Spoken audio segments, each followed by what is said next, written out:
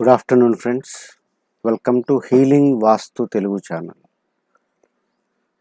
ఈ రోజున మనం ఒక ఒక శిల్పశాస్త్రాలలో ఒక వాస్తు శాస్త్రాలలో చెప్పినటువంటి ఒక సైంటిఫిక్ కాన్సెప్ట్ అనేది నేను ఎక్స్ప్లెయిన్ చేయాలనుకుంటున్నాను. ఎందువల్లంటే ప్రతి ఒక్కరు కన్స్ట్రక్షన్ చేసేటప్పుడు ఈ యొక్క ఈశాన్యాలు పెంచడం లేదంటే ఈశాన్యాలు ఎక్స్టెన్షన్స్ చేసుకోవడము లేదా ఎవరైనా అమ్మితే ఈశాన్యాలు కలిస్తే కొనుక్కోవడం ఇలాంటివన్నీ చేస్తున్నారు అనమాట ఈ సైట్ ప్రకారంగా సైట్ ప్రకారంగా చూసుకున్నప్పుడు ల్యాండ్ ఏదైనా మీకు కలిస్తే ఓకే నో ప్రాబ్లం. కానీ అదే రకంగా ఒక వాయువ్యం పెరిగినా ఒక నైరుతి పెరిగినా ఒక ఆగ్నేయం పెరిగినా కూడా మనం యాక్సెప్ట్ చేయగలగాలి. వాళ్ళు ఉన్నటువంటి వాస్తు పండితులు ఓన్లీ ఈశాన్యానికే వాల్యూ ఇచ్చి ఈశాన్యాల పెంపులు వస్తే ఓకే చేస్తున్నారు. కానీ మిగతాది ఏదొచ్చినా కట్ చేసి పక్కన పడేయడమే కాకుండా వాటిని ఉపయోగించకుండా వాటిని డివైడ్ చేస్తున్నారు అనమాట సరే ఒక ల్యాండ్లో ఈ రకమైనటువంటి హెచ్చు తగ్గులు ఒక ఆకారానికి సంబంధించినటువంటి హెచ్చు తగ్గులు మన మీద పెద్దగా చూపెట్టవు. ఎందుకంటే మనం అందులోంచి ఇంటిని డిరైవ్ చేసి ఒక ప్రాపర్ ప్రపోర్షన్స్ ఒక పొడుగు వెడల్పు నిష్పత్తి ఒక ప్రాపర్ ఓరియంటేషన్ అనేది మనం తీసుకొని చేస్తాం అనమాట ఇది యాక్చువల్గా ఏంటంటే ఈసప్రాచి అని చెప్పి ఈశాన్యానికి బిల్ట్ స్పేస్ని తిప్పడం అనేది చెప్పింది శాస్త్రం. కానీ ఇక్కడ ఉన్న నాలుగు దిక్కుల్లో ఒక్కొక్క దిక్కుకు ఒక్కొక్క రకంగా చేయాలి ఈ యొక్క ఈసప్రాచి ఈ యొక్క వీడియోలో మనం ఒక ఈస్ట్ ఫేస్ ఉన్నటువంటి ఒక బిల్ట్ స్పేస్కి ఏదైతే ఉంటుందో దానికి ఈశాన్యానికి ఏ రకంగా తిప్పాలి అనేది నేను మీకు ఎక్స్ప్లెయిన్ చేస్తాను. చూడండి మిత్రులారా ఇది ఒక ఈస్ట్ ఫేసింగ్ హౌస్ అని అనుకునేటప్పుడు మనం ఈ యొక్క ఈస్ట్ ఫేసింగ్ హౌస్ అనేది మనం ఏ రకంగా తెలుసుకున్నాము? ఏ రకంగా అంటే దానికి ఒక సింహద్వారం అనేది ఉండి దానికి ముందు ఒక రోడ్ అనేది మనం ఇచ్చేసి ఇక్కడ కంపాస్ అనేది మనం చూపెట్టడం జరిగింది. ఈ యొక్క కంపాస్ అనేది చూడండి ఈ యొక్క కంపాస్ దీని ప్రకారం ఇది ఈస్ట్ దిక్ అని చెప్పి మనం తెలుసుకున్నాం ఇక్కడ. సో మనం ఈశాన్యానికి తిప్పడం ఈశప్రాచి అంటే ఇంటి యొక్క ఒక తూర్పు గోడ లేదా ఇంటి యొక్క ఒక ఉత్తరం గోడ మెయిన్ ప్లింత్ను పెంచడం కాదండి. బయట చేసే ప్రాక్టీస్ ఆ రకంగా ఉందన్నమాట. ఇప్పుడు ఈ యొక్క ఇల్లు తీసుకునేటప్పుడు ఈ యొక్క గోడ అనేది నార్త్ సరిహద్దు గోడ మన ప్లింత్ అండి. ఇది ఈస్ట్కి సంబంధించింది. మన వాళ్ళు ఏం చేస్తున్నారు?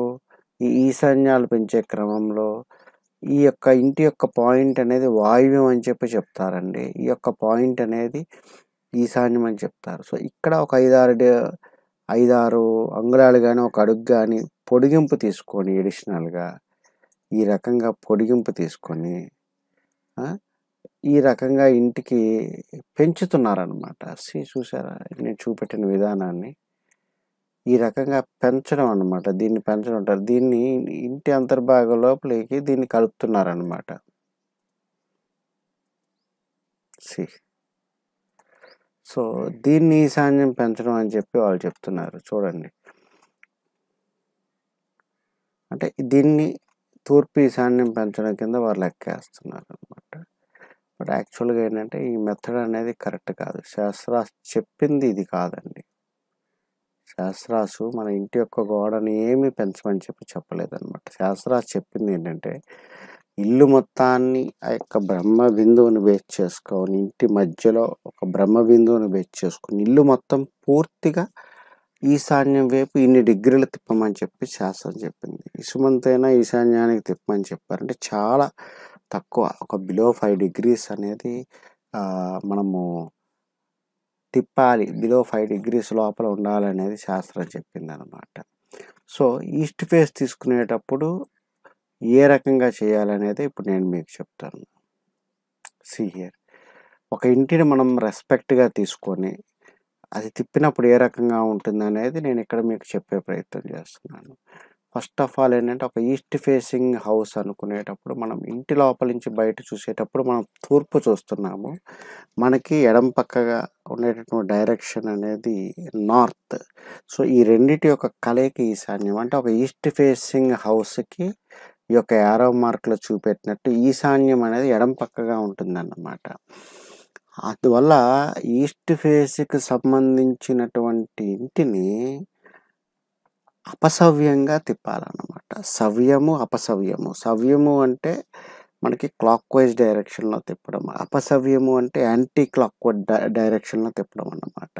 సో ఇక్కడ తూర్పు అనేది తీసుకునేటప్పుడు మనకి ఈశాన్యం ఎడం పక్కగా ఉంది కాబట్టి ఇంటిని మనం ఏ రకంగా తిప్పాలండి? అపసవ్యంగా తిప్పాలి. అంటే యాంటీ క్లాక్ వైజ్ డైరెక్షన్లో తిప్పాలన్నమాట.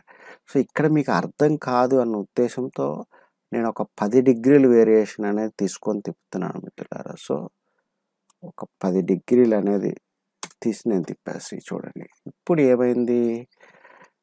ఇల్లు అనేది ఇప్పుడు ఈశాన్యం పక్కకి తిరిగింది అనమాట పది డిగ్రీలు. కానీ యాక్చువల్గా అది శాస్త్రాస్లో ప్రిస్క్రైబ్ చేసింది కాదు పది డిగ్రీలు.